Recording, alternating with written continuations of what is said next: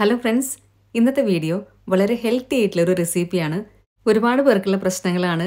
മുടി കൊഴിച്ചൽ വിളർച്ച രക്തക്കുറവ് പി സി ഒ ഡി അപ്പോൾ ഇതിനെല്ലാം ഉള്ള ഒരു മെഡിസിൻ കൂടിയാണ് ഇന്നത്തെ റെസിപ്പി നമ്മൾ ഇതിനകത്ത് മെയിനായിട്ട് ചേർക്കുന്നത് എള്ളും ഞവര അരിയാണ്. നവര അരി റെഡ് റൈസ് എന്നൊക്കെ ഇതിന് പറയാറുണ്ട്. ഇത് ഒരുപാട് ഗുണങ്ങളുള്ള ഒരു അരിയാണ്. അപ്പോൾ നമ്മൾക്ക് നോക്കാം ഇതെങ്ങനെയാണ് തയ്യാറാക്കുന്നത് എന്നുള്ളത്. അതിനായിട്ട് ആദ്യമേ തന്നെ രണ്ട് കപ്പ് നവര റൈസാണ് എടുത്തിട്ടുള്ളത്. ഇത് നമ്മളുടെ സാധാരണ മട്ട റൈസ് അല്ല. കാണാൻ ഇതേപോലെ ആയിരിക്കും ഉണ്ടാവുക. ഇതാണ് ഞാൻ രണ്ട് കപ്പ് എടുത്തിട്ടുള്ളത്. ഇനി ഇത് നന്നായിട്ടൊന്ന് കഴുകിയെടുക്കണം. മൂന്നോ നാലോ പ്രാവശ്യം നന്നായി കഴുകിയതിന് ശേഷം വെള്ളം പോകാനായിട്ടൊന്ന് വെക്കണം. ഇപ്പോൾ ഇതാ ഞാനിതിവിടെ മൂന്ന് പ്രാവശ്യം കഴുകിയെടുക്കുന്നുണ്ട്. ഇനി ഇത് വെള്ളം പോകാനായിട്ട് ഇതേപോലത്തെ ഒരു പാത്രത്തിനകത്ത് ഇട്ട് വെക്കുന്നുണ്ട്. അതിനുശേഷം നമ്മൾക്ക് ഒരു തോർത്തലോ അല്ലെങ്കിൽ ഏതെങ്കിലും ഒരു തുണിയിലോ വിരിച്ചു കൊടുക്കണം. ഇതിലത്തെ വെള്ളം പോകുന്ന സമയം കൊണ്ട് നമ്മൾക്ക് ഇതിനകത്തേക്ക് വേണ്ട എള്ളും കൂടെ പെട്ടെന്ന് കഴുകിയെടുക്കാം. രണ്ട് കപ്പ് എള്ള് തന്നെയാണ് ഞാൻ എടുത്തിട്ടുള്ളത്. ഞാൻ അരി എടുത്ത അതേ കപ്പിൽ തന്നെയാണ് എള്ളും കൂടെ എടുക്കുന്നത് ഇരുന്നൂറ്റമ്പത് എം എല്ലിന്റെ രണ്ട് കപ്പാണ് എടുത്തിരിക്കുന്നത്. ഇനി ഇതും നല്ലപോലെ കഴുകിയെടുക്കണം. മൂന്നോ നാലോ പ്രാവശ്യം ഇതും കഴുകിയെടുക്കുക. എന്നിട്ട് വെള്ളം പോകാനായിട്ട് ഒരു അരിപ്പയിലാണ് ഞാൻ ഇട്ട് വെക്കുന്നത്. വലിയ അരിപ്പ എടുക്കുക. അപ്പോൾ നമ്മൾക്ക് പെട്ടെന്ന് തന്നെ വെള്ളം പോയി കിട്ടും. ഈ സമയമൊക്കെ ആകുമ്പോഴത്തേക്കും നമ്മൾ നേരത്തെ അരിയിലത്തെ വെള്ളം പോകാനായിട്ട് വെച്ചിട്ടുണ്ടായിരുന്നു. അത് നമ്മൾക്കിനി ഒരു തോർത്തിലോ അല്ലെങ്കിൽ ഏതെങ്കിലും തുണിയിലോ ഒന്ന് വിരിച്ചു കൊടുക്കാം.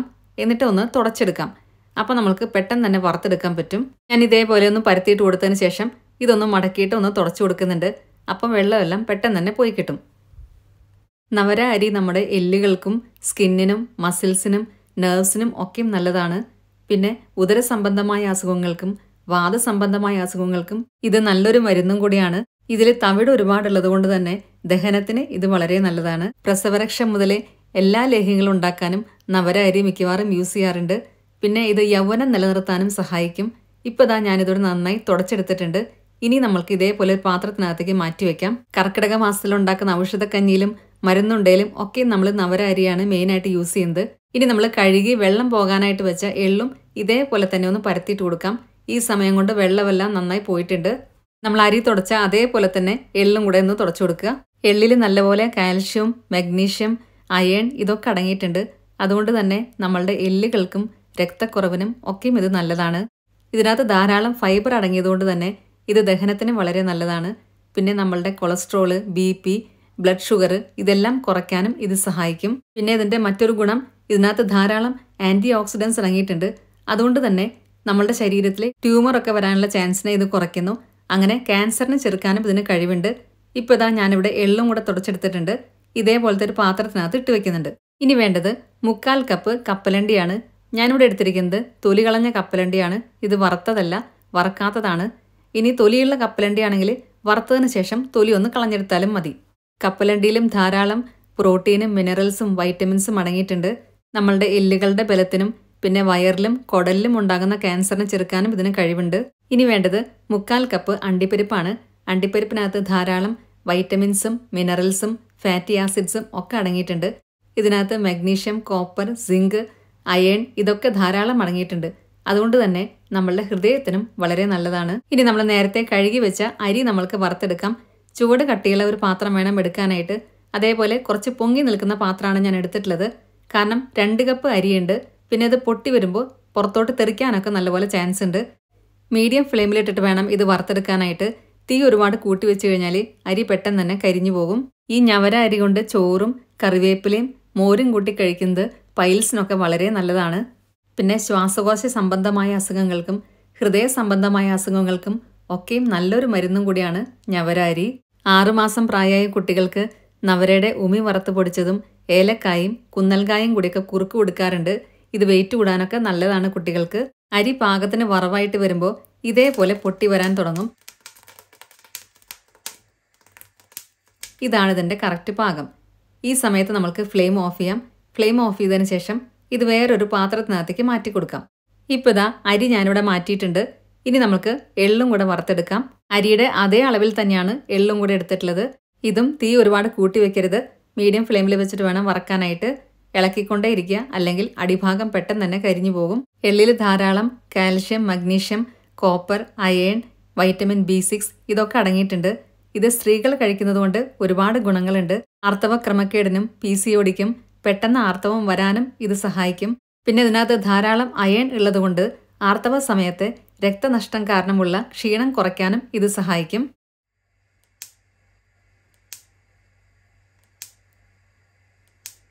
എള്ള് ഇതേപോലെ പൊട്ടി വരാൻ തുടങ്ങും. ഈ സമയത്ത് നമുക്ക് ഫ്ലെയിം ഓഫ് ചെയ്യാം.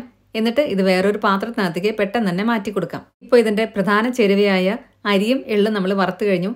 ഇനി വേണ്ടത് കപ്പലണ്ടിയാണ്. കപ്പലണ്ടി ഞാൻ നേരത്തെ പറഞ്ഞ പോലെ തൊലി കളഞ്ഞ കപ്പലണ്ടിയാണ് ഞാൻ എടുത്തിട്ടുള്ളത്. നിങ്ങൾക്ക് വേണമെന്നുണ്ടെങ്കിൽ തൊലിയുള്ള കപ്പലണ്ടി എടുത്താലും കുഴപ്പമൊന്നുമില്ല. അത് വറുത്തതിന് ശേഷം അതിന്റെ തൊലി ഒന്ന് കളഞ്ഞാൽ മതി. കപ്പലണ്ടി പകുതി മൂപ്പായിട്ട് വരുമ്പോൾ നമ്മൾക്ക് ഇതിനകത്തേക്ക് അണ്ടിപ്പരിപ്പും കൂടി ഇട്ട് കൊടുക്കാം. അതിനുശേഷം വീണ്ടും രണ്ടും കൂടെ ഒന്നും കൂടെ വറുത്തെടുക്കുക. ഇതെല്ലാം വറക്കുമ്പോൾ ശ്രദ്ധിക്കേണ്ട പ്രധാന കാര്യം തീ ഒരുപാട് കൂട്ടി വെക്കരുത്. ഇപ്പോൾ ഇതാ കപ്പലണ്ടിയും അണ്ടിപ്പരിപ്പും പാകത്തിന് വറവായിട്ട് വന്നിട്ടുണ്ട്. ഇനി ഇതും നമ്മൾക്ക് മാറ്റി വയ്ക്കാം ഇപ്പം നമ്മളെല്ലാം വറുത്ത് മാറ്റി കഴിഞ്ഞു. ഇനി ഇതെല്ലാം ഒന്ന് ചൂടാറണം. ചൂടാറിയിട്ട് വേണം നമ്മൾക്ക് പൊടിച്ചെടുക്കാനായിട്ട്. ഇത് ചൂടാറുന്ന സമയം കൊണ്ട് നമ്മൾക്ക് ഇതിനകത്തേക്ക് വേണ്ട കരിപ്പെട്ടിയും കൂടെ പെട്ടെന്ന് ഉരുക്കിയെടുക്കാം. കരിപ്പെട്ടിയിൽ ധാരാളം അയേണും മഗ്നീഷ്യവും പൊട്ടാഷ്യം ഒക്കെ അടങ്ങിയിട്ടുണ്ട്. ഇത് രക്തക്കുറവിന് വളരെ നല്ലതാണ്. ഹീമോഗ്ലോബിൻ കൂടാനൊക്കെ വളരെയധികം ഉപകരിക്കും. ഇനി കരിപ്പെട്ടി ഇല്ല എങ്കിൽ സാധാരണ ശർക്കര എടുത്താലും മതി. ഇത് ചെറിയ തീയിൽ വെക്കാം. ആ നേരം കൊണ്ട് നമ്മൾക്കിനി നേരത്തെ നമ്മൾ ചൂടാറാനായിട്ട് വെച്ചിട്ടുണ്ടായിരുന്നു അരിയും എള്ളുമൊക്കെ അത് നമ്മൾക്ക് പൊടിച്ചെടുക്കാം. ഇതിവിടെ പതുക്കെ ഉരുകി വരട്ടെ. നമ്മളുടെ അരിയൊക്കെ നല്ലപോലെ ചൂടാറിയിട്ടുണ്ടായിരുന്നു. ഞാനിവിടെ ഇത് മിക്സിയുടെ വലിയ ജാറിനകത്തേക്ക് ഇട്ട് കൊടുക്കുന്നുണ്ട്. രണ്ട് കപ്പ് അരിയുള്ളത് കൊണ്ടാണ് ഞാൻ വലിയ ജാർ എടുത്തത്. അരി നന്നായി പൊടിഞ്ഞു കിട്ടണം. എന്നാലാണ് നമ്മളുടെ ഉണ്ടയ്ക്ക് നല്ല ടേസ്റ്റ് ഉണ്ടാവുക. അതുകൊണ്ട് ചെറിയ ജാറിലാണെങ്കിൽ അങ്ങനെ പൊടിച്ചെടുക്കാം. രണ്ട് പ്രാവശ്യമായിട്ട് പൊടിച്ചെടുത്താൽ മതി. ഇപ്പോൾ ഇതാ ഞാനിവിടെ അരി നന്നായി പൊടിച്ചെടുത്തിട്ടുണ്ട്. ഇതേപോലെ നന്നായിട്ട് പൊടിഞ്ഞു കിട്ടണം. ഇനി ഇത് സൈഡിലോട്ട് മാറ്റി വെക്കാം ഇനി നമ്മൾക്ക് നേരത്തെ വറുത്ത് മാറ്റി വെച്ച എള്ളും കൂടെ പൊടിച്ചെടുക്കാം. അതും നന്നായി ചൂടാറി വന്നിട്ടുണ്ട്. പിന്നെ ശ്രദ്ധിക്കേണ്ട പ്രധാന കാര്യം തീരെ വെള്ളമയം മിക്സിയിൽ പാടില്ല. വെള്ളമയം ഉണ്ടെങ്കിൽ നമ്മൾ ഉണ്ടാക്കുന്ന ഉണ്ട പെട്ടെന്ന് തന്നെ ചീത്തയായി പോകാൻ ചാൻസ് ഉണ്ട്. അതുകൊണ്ട് നമ്മൾ എടുക്കുന്ന പാത്രങ്ങളും സ്പൂണും മിക്സിയും എല്ലാം വെള്ളമയം ഇല്ലാത്ത രീതിയിൽ വേണം എടുക്കാനായിട്ട്. തുടച്ച് ഉണക്കിയതിന് ശേഷം മാത്രമേ എടുക്കാൻ പാടുള്ളൂ. ഇപ്പോൾ ഇതാ എള്ളും ഞാനിവിടെ പൊടിച്ചെടുത്തിട്ടുണ്ട്. ഇനി ഇതും സൈഡിലോട്ടൊന്ന് മാറ്റി വയ്ക്കാം ഇനി നമ്മൾക്ക് പൊടിക്കാനുള്ളത് കപ്പലണ്ടിയും അണ്ടിപ്പരിപ്പുമാണ്. അത് രണ്ടും ഒരുമിച്ച് തന്നെ പൊടിച്ചെടുക്കാം. ഇത് ഒരുപാട് പൊടിയേണ്ട ആവശ്യമില്ല. കുറച്ചൊക്കെ നമ്മൾക്ക് കടിക്കാൻ കിട്ടുന്ന രീതിയിൽ കിടന്നാലും കുഴപ്പമില്ല. ഇപ്പോൾ ഇതാ കപ്പലണ്ടിയും അണ്ടിപ്പരിപ്പും കൂടെ പൊടിച്ചെടുത്തിട്ടുണ്ട്. ഇനി ഇതും സൈഡിലോട്ട് മാറ്റി വയ്ക്കാം എന്നിട്ട് നമ്മൾക്ക് വലിയൊരു പാത്രം എടുത്തിട്ട് അതിനകത്തേക്ക് രണ്ട് ടേബിൾ സ്പൂൺ നെയ്യാണ് ഒഴിച്ചു കൊടുക്കുന്നത് ഇനി വേണ്ടത് തേങ്ങ ചിരവിയതാണ്. ഒരു വലിയ തേങ്ങയാണ് ഞാൻ എടുത്തിട്ടുള്ളത്. അത് മുഴുവനായിട്ട് ഇട്ട് കൊടുത്തതിന് ശേഷം ചെറിയ തീയിൽ ഇത് നല്ലപോലെ വറുത്തെടുക്കുക. തീ ഒരുപാട് കൂട്ടി വെച്ച് കഴിഞ്ഞാൽ തേങ്ങ ചിരവിത് കരിഞ്ഞു പോകും. നമ്മളുടെ ഉണ്ടയ്ക്ക് അത്ര ടേസ്റ്റും ഉണ്ടാവില്ല. അതുകൊണ്ട് ചെറിയ തീയിൽ വെച്ചിട്ട് വേണം ഇത് വറുത്തെടുക്കാനായിട്ട്. ഇപ്പോൾ ഇതാ തേങ്ങയൊക്കെ നല്ല പോലെ വറുത്ത് വന്നിട്ടുണ്ട്. ഇനി ഫ്ലെയിം നന്നായി കുറച്ച് വെച്ചതിന് ശേഷം നമ്മൾ നേരത്തെ കരിപ്പെട്ടി അവിടെ ഉരുക്കാനായിട്ട് വെച്ചിട്ടുണ്ടായിരുന്നു. അത് നേരെ ഇതിനകത്തേക്ക് അരിച്ചൊഴിക്കാം. ചൂടാറേണ്ട ആവശ്യമൊന്നുമില്ല. ചൂടോടെ തന്നെ നമുക്ക് അരിച്ചൊഴിക്കാം. എഴുന്നൂറ്റമ്പത് ഗ്രാം എടുത്തു കഴിഞ്ഞാൽ നല്ലപോലെ മധുരം ഉണ്ടായിരിക്കും. ഇനി മധുരം കൂടുതൽ വേണമെന്നുള്ളവരാണെങ്കിൽ ഒരു കിലോ വരെ നിങ്ങൾക്ക് എടുക്കാം. കരിപ്പെട്ടി എത്രയായാലും ഹെൽത്തി ആയിട്ടുള്ള ഒന്നാണ്. ഇനി കരിപ്പെട്ടിയും തേങ്ങയും കൂടെ നല്ല പോലെ മിക്സാക്കി കൊടുക്കുക. ഇത് നന്നായിട്ട് തിളയ്ക്കാൻ തുടങ്ങിക്കഴിഞ്ഞാൽ നമ്മൾ പൊടിച്ചു വെച്ച അരിയും എള്ളും ഒക്കെ ഇട്ട് കൊടുക്കാം. തീ ഒരുപാട് കൂട്ടി വെക്കേണ്ട ആവശ്യമില്ല. ലോ ഫ്ലെയിമിലാക്കിയിട്ട് വേണം നമ്മൾ അരി പൊടിച്ചതൊക്കെ ഇട്ട് കൊടുക്കാനായിട്ട്. ഇപ്പോൾ ഇതാ അതിവിടെ എല്ലാം കൂടെ നന്നായി തിളച്ച് വന്നിട്ടുണ്ട്. ഈ ഒരു സമയത്ത് നമ്മൾക്ക് അരി പൊടിച്ചു വെച്ചത് ഇട്ട് കൊടുക്കാം. തീ നന്നായി കുറച്ച് വെച്ചതിന് ശേഷം മാത്രം ഇട്ട് കൊടുത്താൽ മതി. നന്നായി ഇളക്കി യോജിപ്പിക്കുക. ഈ സമയത്ത് ചിലപ്പോൾ വെള്ളം കൂടിയ പോലെ തോന്നും. അത് കുഴപ്പമില്ല. നമ്മളെല്ലാം കൂടി ഇട്ട് വരുമ്പോൾ ശരിയാകും. ഇനി വേണ്ടത് എള്ള് പൊടിച്ചതാണ്. അതും കൂടെ ഇതിനകത്തേക്ക് ഇട്ട് കൊടുക്കാം. എന്നിട്ട് വീണ്ടും എല്ലാം കൂടെ നന്നായിട്ടൊന്ന് ഇളക്കി കൊടുക്കുക. ഇപ്പോൾ ഇതാ നമ്മൾ ഇട്ട് കൊടുത്ത അരി പൊടിച്ചതും എള്ള് പൊടിച്ചതും നല്ല പോലെ മിക്സായി വന്നിട്ടുണ്ട്.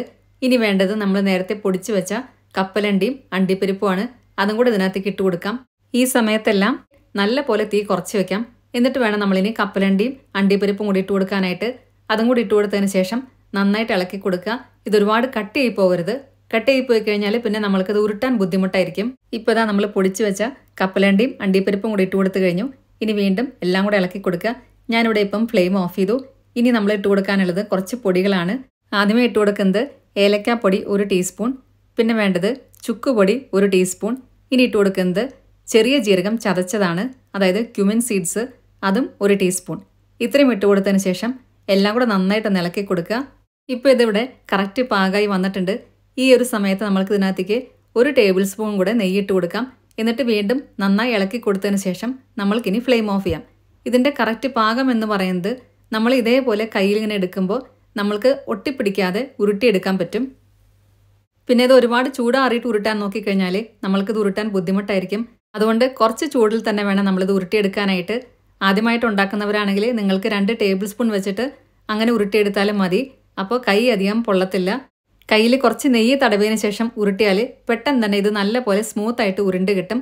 ഇതേപോലെ തന്നെ എല്ലാം ഉരുട്ടിയെടുക്കുക. ഇതിന്റെ ആരോഗ്യ ഗുണങ്ങളെല്ലാം ഞാൻ നേരത്തെ പറഞ്ഞു കഴിഞ്ഞു.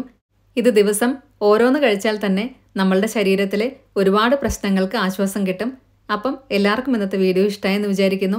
ഇതിനു മുന്നേ ഞാൻ മരുന്നുണ്ടിയും ഉലുവാക്കഞ്ഞിയും എല്ലാം ഇട്ടിട്ടുണ്ട്. അതിന്റെ എല്ലാം ലിങ്ക് ഞാനിവിടെ ഡിസ്ക്രിപ്ഷൻ ബോക്സിൽ കൊടുക്കാം. കാണാത്തവരുണ്ടെങ്കിൽ അത് ക്ലിക്ക് ചെയ്ത് കണ്ടാൽ മതി. വീഡിയോ ഇഷ്ടമായിട്ടുണ്ടെങ്കിൽ നിങ്ങളുടെ ഫ്രണ്ട്സിനും റിലേറ്റീവ്സിനൊക്കെ ഷെയർ ചെയ്യാൻ മറക്കരുത്. സബ്സ്ക്രൈബ് കൂടെ ചെയ്യുക.